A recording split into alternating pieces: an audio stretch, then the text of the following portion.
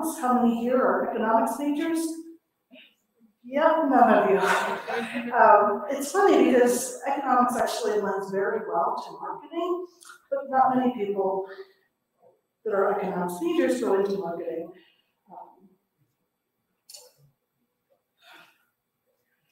Um, um, th- there's several reasons why. First, economics is the science of decision making, and second, we learn how to conduct market research and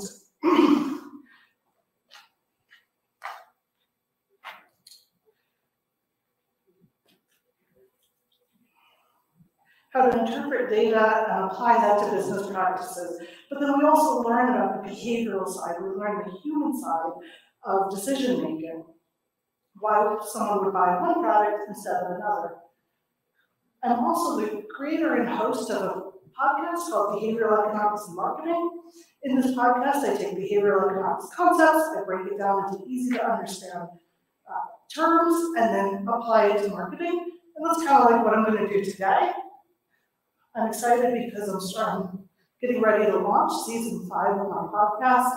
It is called Lessons from the Fire, where I'll talk about how natural disasters affect people and then how you can apply that to not just marketing during and after natural disasters, but um, marketing in general. Uh, yep, my podcast is on every every platform possible. I have over 30,000 monthly listeners. And um, if you like what I talk about, you'll like that. I also have 15 years of experience across the four P's of marketing, product, place, uh, price, and promotion. And I've done a lot of consulting in and out of many industries, but the most of my experience is in the travel industry. And when I um, when I say that I work in the travel industry, I either get one or two different responses. The first is, oh, that must be so easy because everybody loves to travel. On the other end of the spectrum, people say, well, that's such a shame that the industry is dying. But it's funny because the last three months were the three highest grossing months in the history of my, my 30 year history of my company. And prior to COVID, I started at a um, a Japan tour operator that uh, six months into the year. And the one thing about travel is that 40 to 60% of our sales come in the first three months of the year. But when I started, we were down by millions of dollars. And by the end of the year, we finished 30% year over year growth. And that's the type of growth that I bring to every situation. And the reason why is that behavioral economics, that's my key differentiating factor, and it's something that you can easily do too. So getting started, um, what is behavioral economics? And to understand what behavioral economics is, you've got to understand what traditional economics is. And traditional economics is defined as a social science and branch of knowledge concerned chiefly with description and analysis of the production, distribution, and consumption of goods and services, as well as the transfer of wealth. Um, economists, or another standard definition is the one here, uh, we study how people allocate their limited resources to satisfy their nearly unlimited wants, and that is marketing. Um, economists study how decisions are made on a micro and macro level, everything from individuals to companies or organizations, all the way up to uh, governments and societies and world leaders. However, traditional economics proceeds as if everyone is homo economicus, and this means that we are rationally self-interested decision makers. We are acutely aware of all the opportunities and options in the environment and their expected payoff. A decision maker that strives to maximize the benefits received and each course of action while minimizing the costs. So where does traditional economics fall short? Have you ever purchased an item just to find it cheaper down the road? Or have you purchased a gallon of milk at the corner store, knowing fully well that it is twice the prices of the grocery store? Or what about savings? Is there an expensive item that you would like to purchase, like a, a vacation or a home or a car, but you would have to save up to do it? And yet, you spend all of your money on items such as fancy dinners or expensive clothes and don't actually save. The truth is, is that we're not always rational, self-interested decision makers. We don't always maximize benefits and minimize costs. We make decisions under uncertainty with insufficient knowledge, feedback, and bounded rationality. We sometimes lack self-control. Our preferences change, often how, on how the decision and the options are presented. In, in behavioral economics, it's called framing. Uh, humans are irrational, and that is where behavioral economics steps in. Behavioral economics is defined, as the incorporation of the study of psychology into the analysis, analysis of the decision making behind an economic outcome to capture a wider range of human motivations than the rational agent model alone affords. For example, through behavioral economics, we can study and analyze the facts that lead up to a consumer buying one product instead of another, or just walking away from the sale altogether.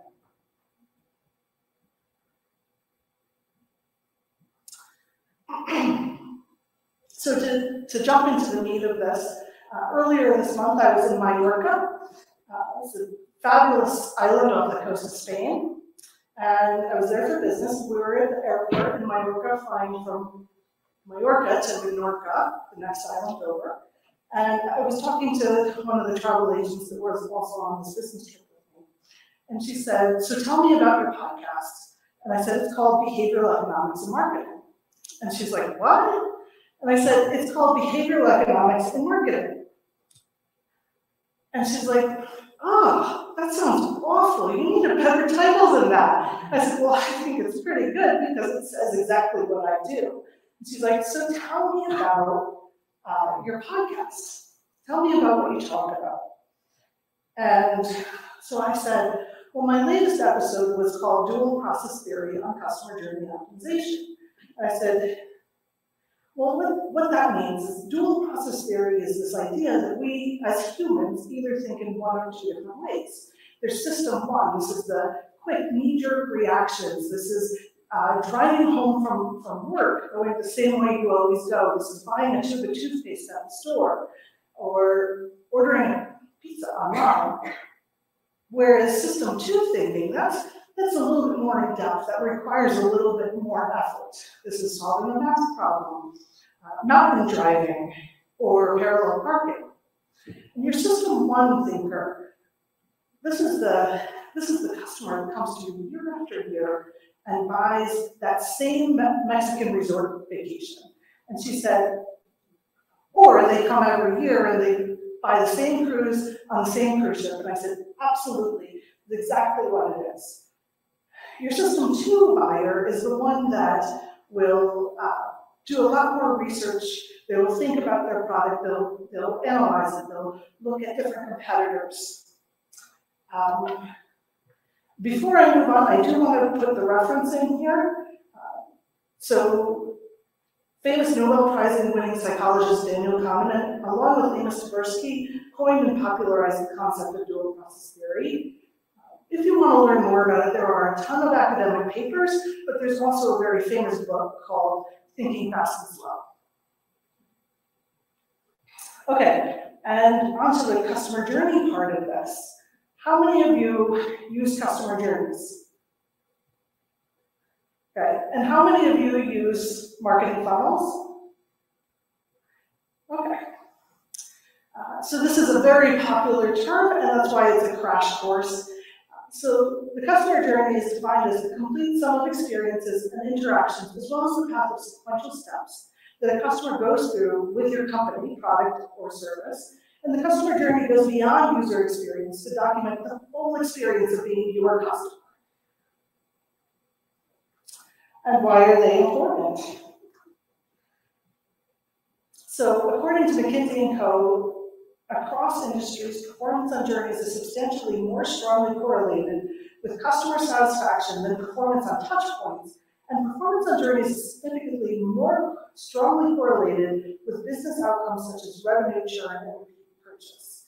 And what does that actually mean? There's benefits throughout creating a customer journey and optimizing it, including clarifying your channel performance, spotting bottlenecks, seeing significant successes, understanding customer needs, improving decision making, improving customer experience, how to build customer engagement through sales and conversion rates, increase repeat and referral business, and the list goes on and on. Okay, and so one really great example, one of the world's uh, most popular audio streaming services, Spotify, uh, wanted to improve the music sharing experience for their customers. So they hired a market research professional who created a customer journey map to, to determine where that feature fits in with the entire customer experience. They mapped out from the moment that a customer opened the app all the way through to the point where they liked uh, a song that one of their friends had shared.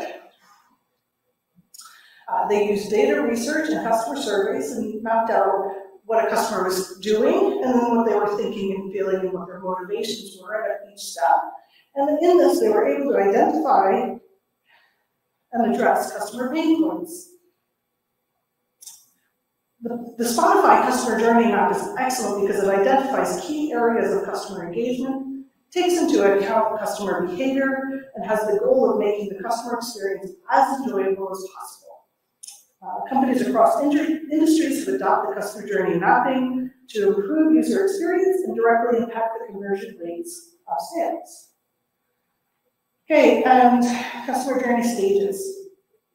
Every marketing professional may use a different number of stages. They might call them by different things, but researchers have identified six common stages of the customer journey.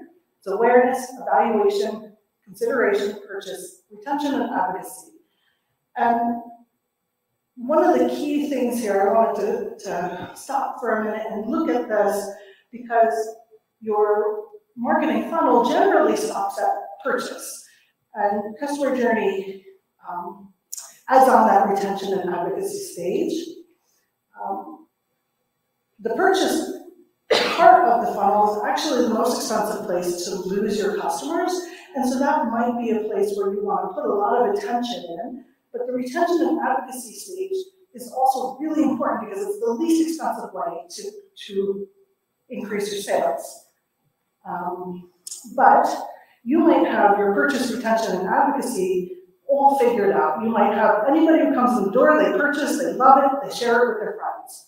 So you might spot by doing this customer journey mapping, you might spot that the awareness stage is really where you need to, to put your effort.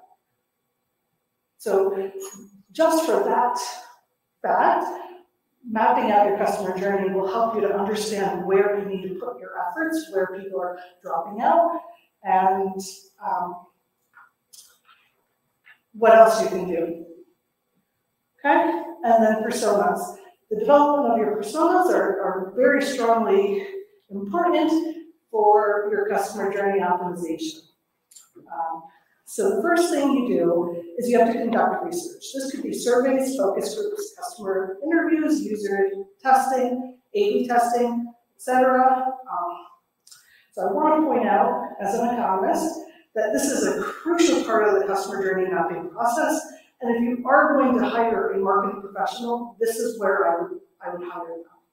Uh, the reason why is because novice marketing professionals can make key mistakes in market research including conducting the wrong type of research, hand selecting their sample, discarding results for any reason, asking leading questions, and the list goes on. There's so many places where that market research can fall down.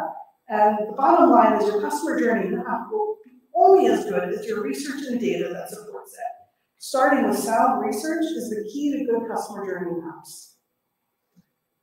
And I also want to add in that um, Anywhere else along the line, as you're creating the map and as you're implementing it, you can learn from what's going on and tweak and change it, but it's that, that market research that's the core of it, and it's so important you start on a good, solid ground. Okay, so once you've conducted your research, you want to profile your personas, outline their goals, find common links between customers to develop those strong personas. And you may choose only a few personas to focus on. A few common ones include ideal customers, realistic customers, or negative personas. These illustrate the type of customer who is unlikely to buy. And another really key thing that you can be looking at is whether or not your customer is in system one or system two when they purchase. And is that what you want them ideally in as well? Do you want them thinking strongly about your product and, and comparing it to the competitors, or do you want them to quickly pick up the, your brand of toothpaste on the shelf? And with this, timing is everything. So sometimes you want your customer to be in system one, sometimes system two. Sometimes you want them in system one for half of the journey, and then nudge into system two. You may want them in system one through purchase, but then system two for retention and advocacy. Or you may want them in system two through consideration, and then ease them to system one for purchase. For example, if you are a toothpaste company, you may want your customers in system one, a systematic process that they don't really have to think about. But what if you are targeting customers of your competitor? Then you clearly want them in system two through consideration and then nudge into system one for purchase. In this, time is everything. Every persona, every product is going to be different. And so let's talk about how to nudge someone from system two into system one. And again, just to go over what system one thinking is, it's that quick knee-jerk reaction. It's uh, buying a toothpaste, ordering a pizza online. It's not something that they really think that much about. You want to make it very simple. You want to ask quick yes-no questions, uh, or have them ask that of themselves based on what you're putting out there. Your remarketing should be repetitive. You should be using the same imagery, the same copy, the same fonts. It should look very much the same as you continue to, to put the same imagery in front of them. You want your imagery to be iconic. For example, in the travel industry, I might put a, a Eiffel Tower picture uh, because this is an iconic site. People immediately recognize it, they know exactly where it is, and, and they can imagine themselves there. You don't want to overcomplicate. You want everything to be very simplistic. Your imagery, your copy, your font, your colors, all of it to be very simple. Uh, you want it to be um, sequential. If this, then this. So if, if you like Paris, you might like London. You don't necessarily want to say if you like Paris, you might like Budapest, even though they probably would. Uh, you want to present your options very simply. Uh, three options at most is what I like.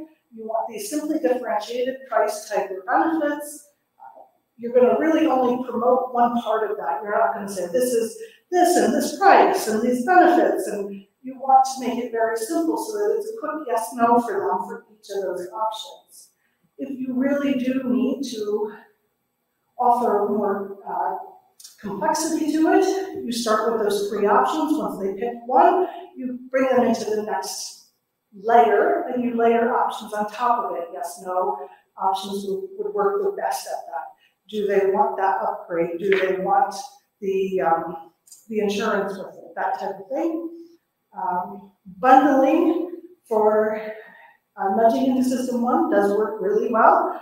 On my podcast, I did give this example of when you work, when you walk into the grocery store in the middle of the summer, you'll see a nice display of s'mores stuff. You'll see the marshmallows, the chocolate, the graham crackers. And this is a simple bundling thing. It's a simple yes, no, yes, I want s'mores, no, I don't. It has one brand up there, it doesn't have a store brand, it doesn't have a lot of options. And usually people walk in, they see it, and they might not have any interest in buying s'mores, but they do anyway.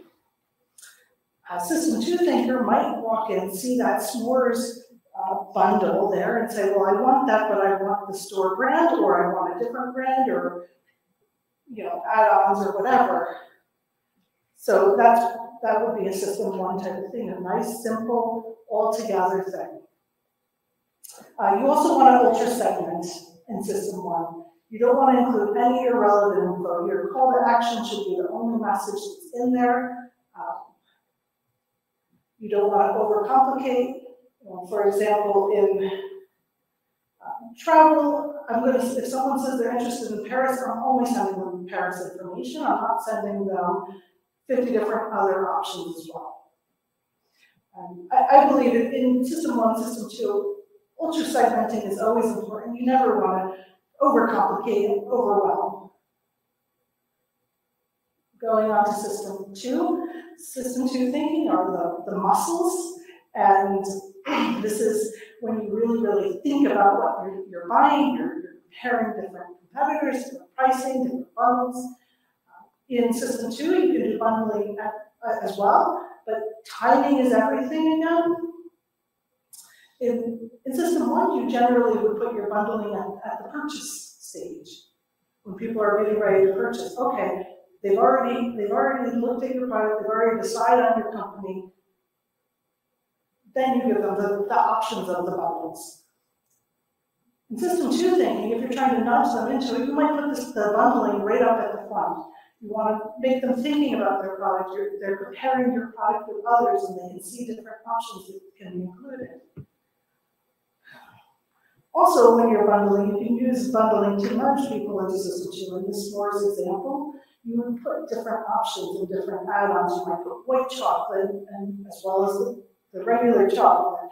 You might put dark chocolate, you might put bananas there.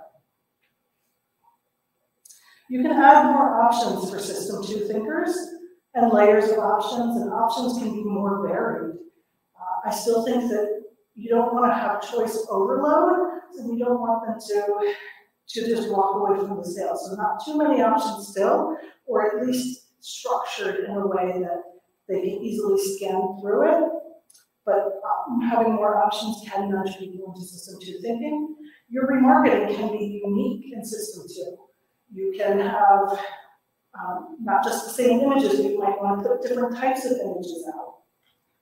Ultra segmenting, though I think it's always important to segment and, and make sure you're sending the right message to the right person at the right time, it's not as necessary in system two. Um, so one example that I like to give is from Old Navy. They often will send a you know, email marketing that says ten dollar shorts, and that's like the the subject line. You get into the email, and you have to scroll all the way down to the bottom to see that system to see that um, to see the shorts. There's everything else in the way. This is a system two technique. They want you to get thinking not just about the shorts, but about all the other things. Uh, somebody else, another speaker mentioned about putting all the, the good deals in the back of the store. It's the same thing. This is system two thinking. Your imagery is more experiential than system two. You might not put the Eiffel Tower, but you might put someone eating a, uh, and drinking coffee at a cafe with cobblestone streets in Paris. Um, for your toothpaste example, you would have what it's like to experience that. You know, your first kiss after brushing your teeth or something like that. You might not put the picture of the product. Also, in, in travel, food pictures work really well for system two. Okay, so we've talked about the marketing funnel, we've talked about how the um, customer journey adds on those two extra steps, and also adds on other nuances as well, your motivations, what people are thinking, what they're feeling. I like to think of things in the loop framework. And so the loop framework actually comes from product development, but I have adopted this for uh, my, my marketing as well as my professional and personal development. So with the loop framework, you start with data.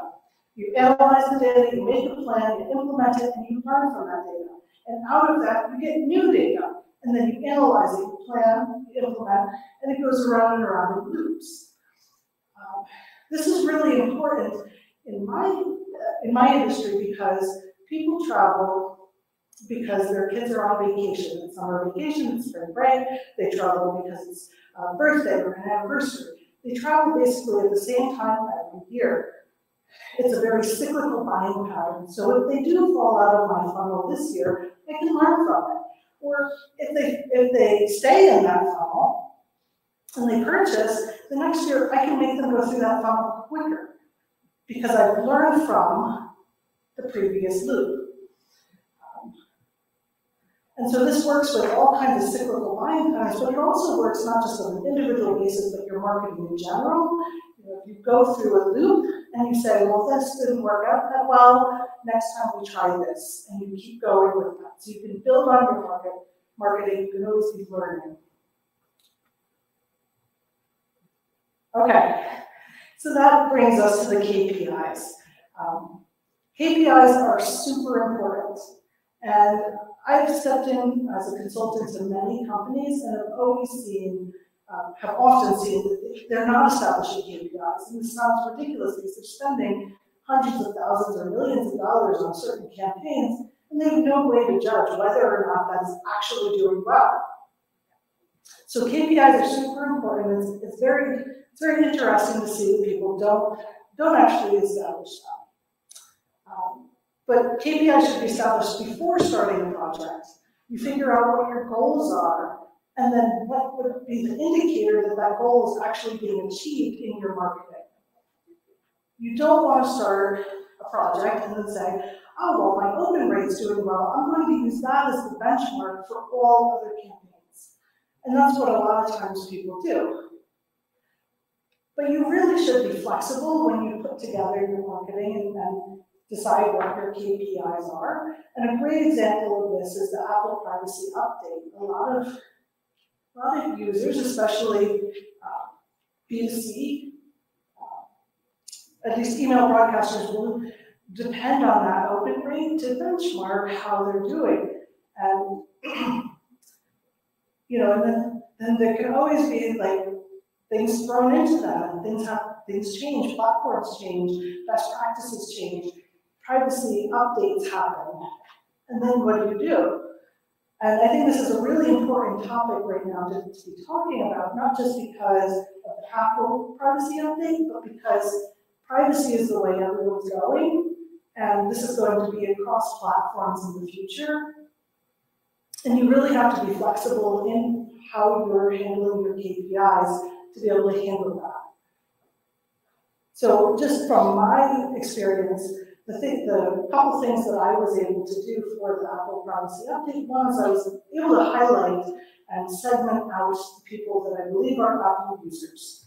And I still continue to send them the broadcasts, but I send it separately so that I still have open rates for everyone else. But this will only be good until other platforms update their privacy uh, requirements. And Another great way to, to even think about this is um, to start before that becomes a problem.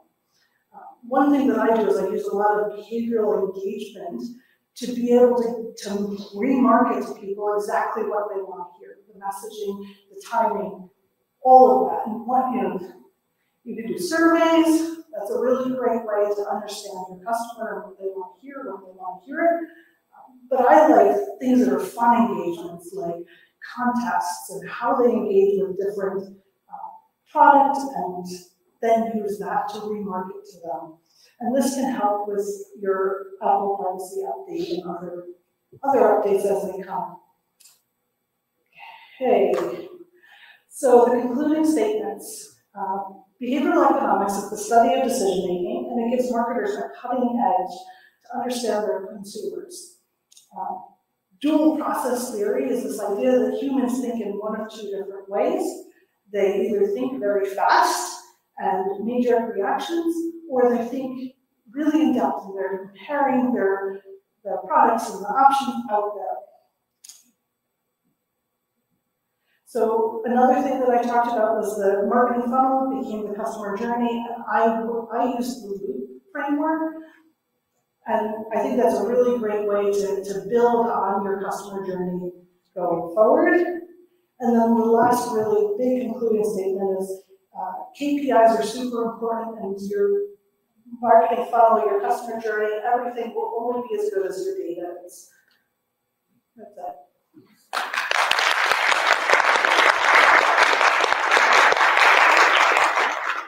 All right. Does anybody have any questions? Before we break for lunch. Go ahead. I think I can be loud enough. Um, yeah, so yeah, you're good. A lot of times, my with my company, uh, we have um, we do technical content for like startup software companies and so forth. And a lot of times, I'm head of sales and uh, I'm head of sales and I do all the discovery and um, proposals. And a lot of times, you know, I'm trying to uncover their KPIs and they're like, yeah, I'm not sure. And I really have to dig in to try and get them to give me one. And, you know, they'll give me something broad like revenue. And I'm like, well, it, like how much revenue and what amount of time and like how do we base you know how do we judge your success with our partnership so i don't know if you have any suggestions on how to um, with kpis being so important how do you get that out of people Well, I think first you have to start with the goal, figure out what their goal is, and then talk to them about different ways to measure that goal. And, um, different benchmarks along that process too, like revenue is great, but it's, there might be a problem upstream. And I think that that's really important, explaining that, that you want to address any problems upstream so that people don't fall out of the funnel too early. yeah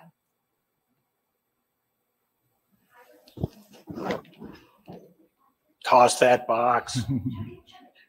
Hand-eye coordination is not my thing. Um, I actually have two questions, if you don't mind. Um, how many touches do you typically need to see both with um, the system one and system two before somebody's convinced to buy? Well, so it's gonna be different for everything, you know, for example, s'mores that I talked about, people walk in, they see it, put it in their basket, and they walk out with it, purchasing it. And that's one touch, that's it.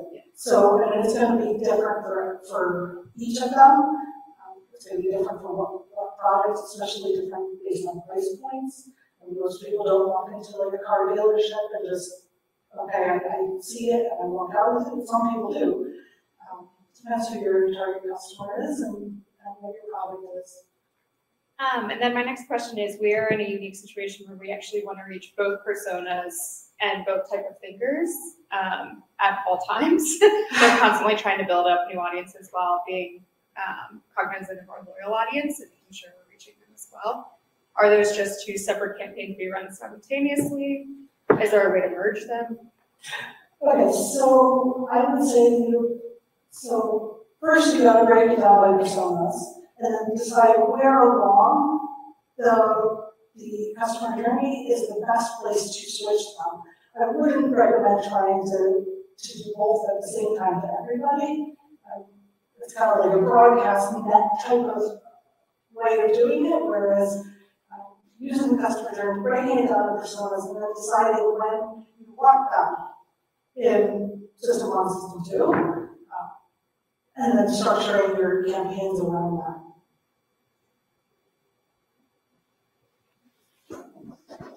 Any questions?